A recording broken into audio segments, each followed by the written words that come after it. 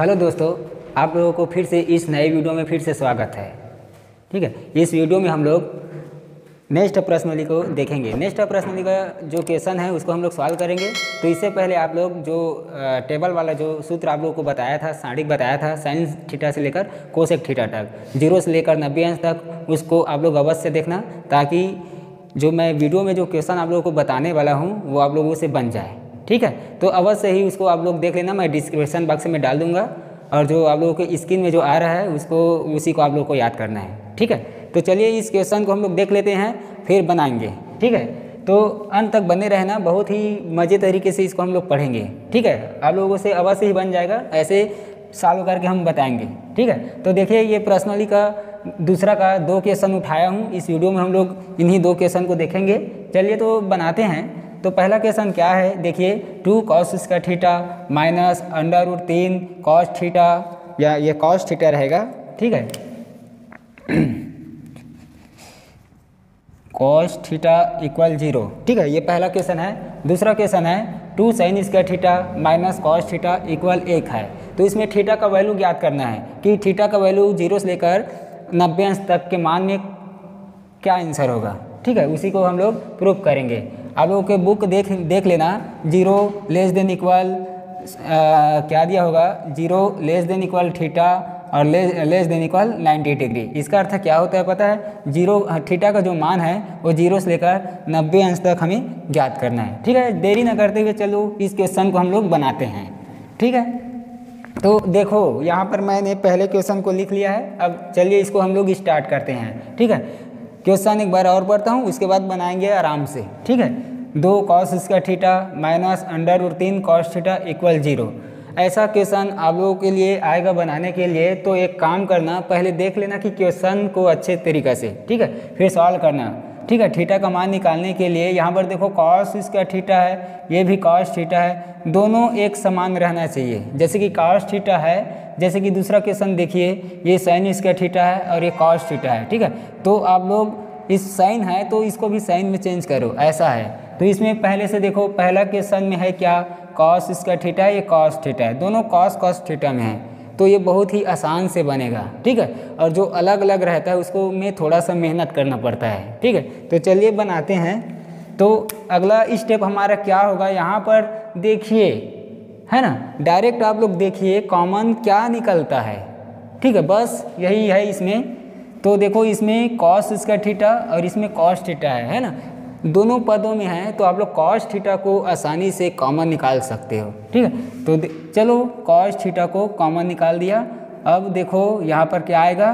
Two cos theta minus under root तीन। ये तो कॉस थीटा कॉमन निकल गया है इक्वल ज़ीरो ठीक है? अब देखिए अगला स्टेप आप लोग पढ़ चुके हो पिछले पार्ट को वर्ग समीकरण में कि कैसे बनाते हैं। ठीक वैसे इसको भी हम लोग बनाएँगे, ठीक है? एक बार क्या लेना? कॉस थीटा इक्वल ज़ीरो लेना और एक बार two cos theta minus under root तीन इक्वल ज़ीरो लेना। ठीक है? तो ये हो जाएगा कॉस थीटा इक्वल ज़ीरो और एक बार और क्या होगा? तथा लिख सकते हो आप लोग। Two cos theta minus under root तीन इक्वल ज़ीरो ऐसे क्वेश्चन को आप लोग सॉल्व कर लिए हो। वर्ग समीकरण में कि कैसे ज़ीरो लेते हैं। ठीक है? अब चलिए बनाते हैं। आप लोग सारणिक को अच्छी तरीक़े से याद कर लिए होंगे तो आप लोगों को याद होगा काश ज़ीरो अंश, है ना? काश कितने अंश का मान ज़ीरो होता है? ठीक है? काश कितने अंश का मान ज़ीरो होता है? तो आप लोगों ने याद कर लिया होगा काश नब्बे अंश का मान कितना होता है? ज़ीरो होता है। ठीक है?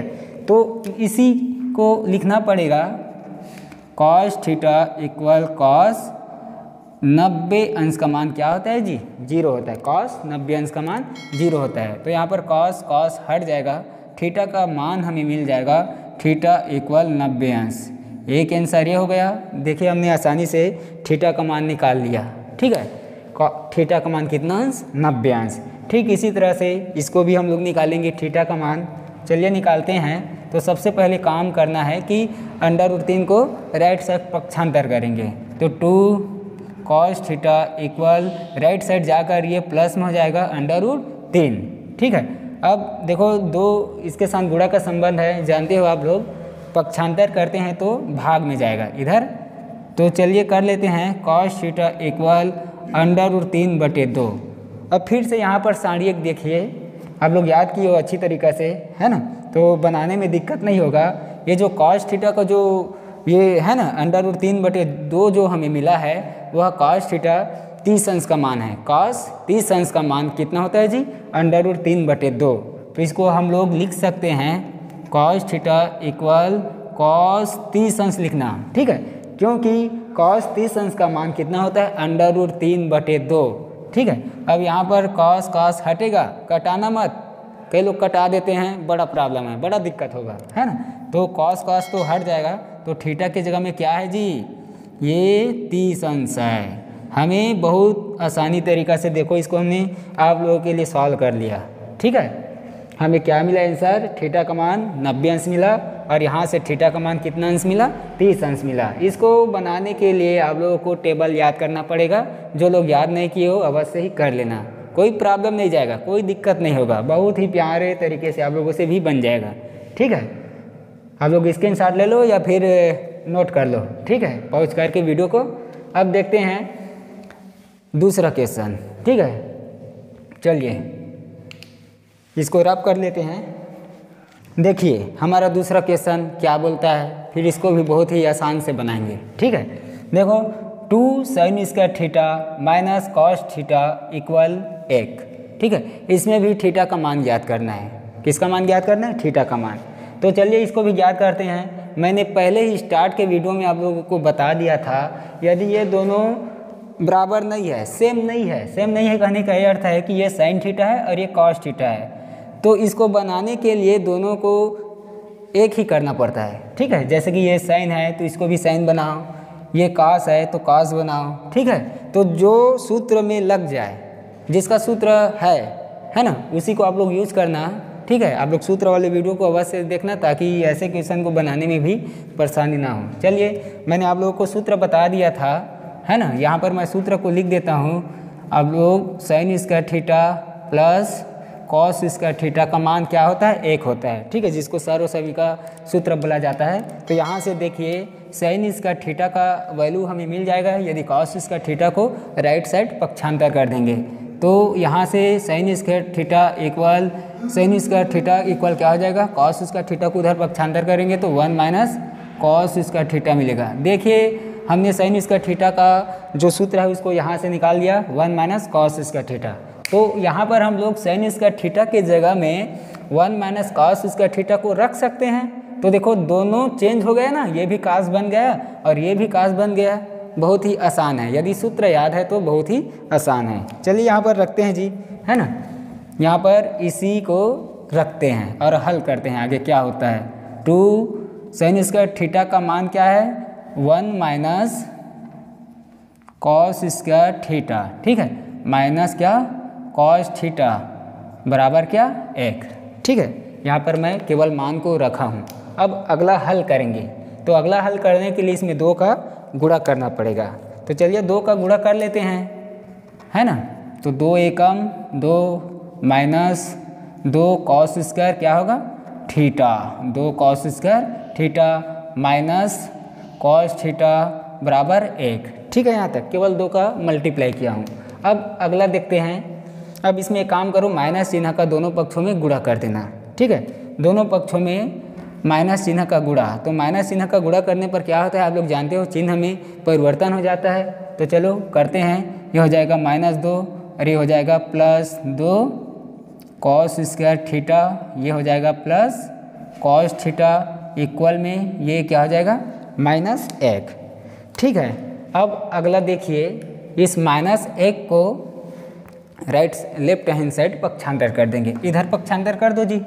तो ये हो जाएगा इसको मैं पहले लिख रहा हूँ। दो cos square theta plus cos theta इस माइनस दो को उधर लिख देता हूँ। माइनस दो, ठीक है? अब माइनस एक को पक्षांतर करेंगे तो इस बार आकर क्या हो जाएगा? प्लस एक। ठीक है, यहाँ तक। अब अगला देखिए क्या होगा। दो cos square theta plus cos theta minus दो प्लस एक कितना आता है? आप लोग जानते हो, कितना आएगा?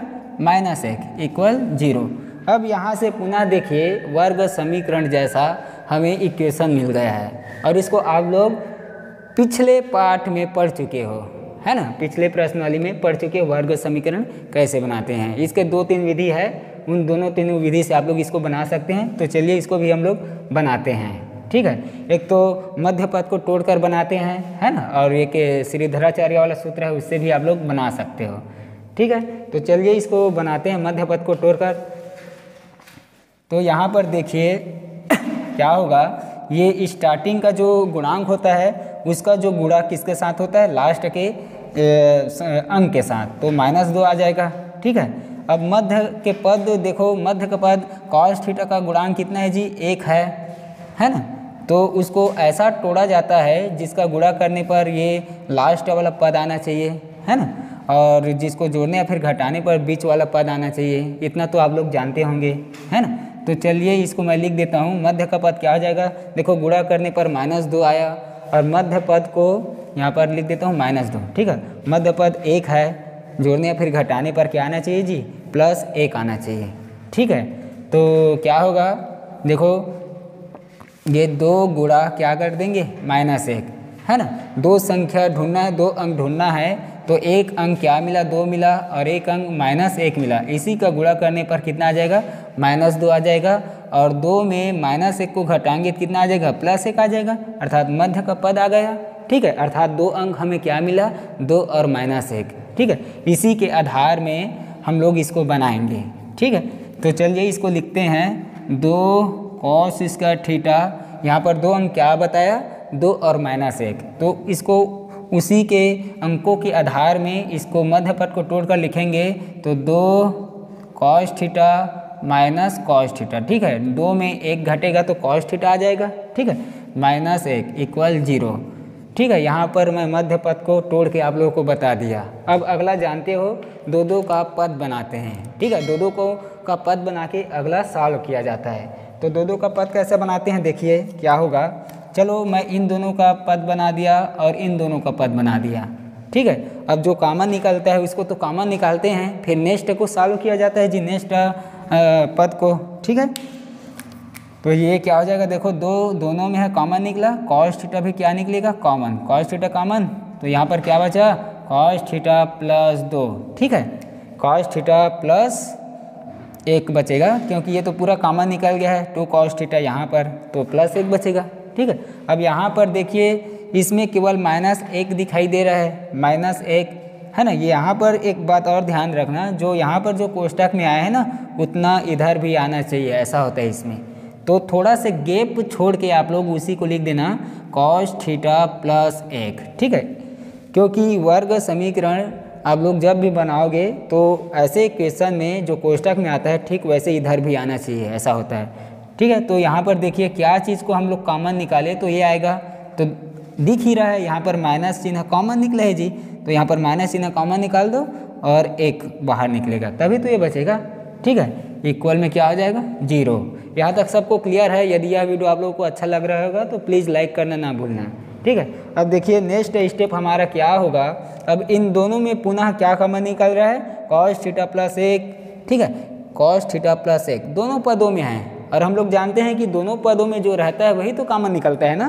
तो चलिए नेक्स्ट स्टेप इधर मैं बना देता हूँ। ठीक है? तो ये क्या हो जाएगा? कॉमन निकल गया तो कॉस थीटा प्लस एक। कॉमन निकला? तो बचा क्या जी? देखो टू कॉस थीटा माइनस एक बचा। ठीक है? उसी को दूसरा कोष्टक में लिख दो। टू कॉस थीटा माइनस एक इक्वल ज़ीरो ठीक है? यहाँ तक क्लियर है सबको? अब आप लोग जानते हो है ना? कॉस थीटा प्लस एक इक्वल एक बार ज़ीरो लेना और टू कॉस थीटा माइनस एक इक्वल ज़ीरो ले लेना। चलो, बनाते हैं जल्दी से। कॉस थीटा प्लस एक इक्वल ज़ीरो तथा क्या होगा? टू कॉस थीटा माइनस एक इक्वल ज़ीरो। अब अगला क्या होगा? पक्षांतर करके इसको बनाएँगे। चलिए माइनस एक को पक्षांतर करेंगे तो कॉस थीटा इक्वल माइनस एक। अब आप लोगों के बुक में ये बोला गया है कि ज़ीरो से लेकर नब्बे अंश तक के मान को निकालना है है ना? तो आप लोग सारणिक को देखिए कॉस थीटा का मान जो है, ज़ीरो से लेकर नब्बे अंश तक के मान में, है ना? उसका जो मान होता है वो ऋणात्मक नहीं होता। क्या नहीं होता जी? ऋणात्मक नहीं होता। इसलिए कॉस थीटा माइनस एक जो आया है, उसको अमान्य मानना। क्या मानना? अमान्य है यह आंसर यह आंसर नहीं हो सकता। ठीक है? अब उसके पश्चात इसको देखो। ठीक है? तो इसको देखेंगे तो टू कॉस थीटा माइनस एक उधर पक्षांतर करो तो उस पर जाकर प्लस एक हो एक हो जाएगा। अब उसके बाद और आगे हल करोगे, दो को पक्षांतर करने पर क्या होगा? एक बटे दो। अब ये तो मान जानते हो ना? टेबल देखे होगे, याद किए होगे तो कॉस है ना? कॉस जो साठ अंश जो होता है जी कॉस साठ अंश का मान कितना होता है? एक बटे दो होता है, ठीक है? तो इसको हम लोग आसानी से लिख सकते हैं कॉस थीटा इक्वल कॉस कितने अंश का मान है ये? साठ अंश का मान है। हम लोग बहुत ही लिख सकते हैं इसको कि कॉस साठ अंश का मान एक बटे दो होता है। ठीक है? कॉस साठ अंश का मान कितना होता है? एक बटे दो। अब यहाँ से कॉस कॉस हट गया। थीटा की जगह में क्या बचा? थीटा इक्वल कितना अंश साठ अंश बस यही आंसर है इस प्रश्न का। ठीक है? हमने देखे बहुत ही आसान से दोनों क्वेश्चन को क्या कर लिए? सॉल्व कर लिए आप लोग अवश्य प्रैक्टिस कीजिए, आप लोगों से भी बन जाएगा और साथ ही साथ आप लोग टेबल को भी याद कीजिए। ठीक है? स्क्रीन शॉट ले सकते हो या फिर वीडियो को पॉज कर लो, आप लोग लिखना चाहोगे तो। ठीक है?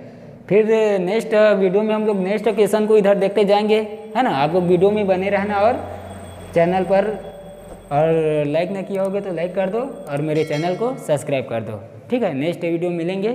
तब तक के लिए जय हिंद जय भारत।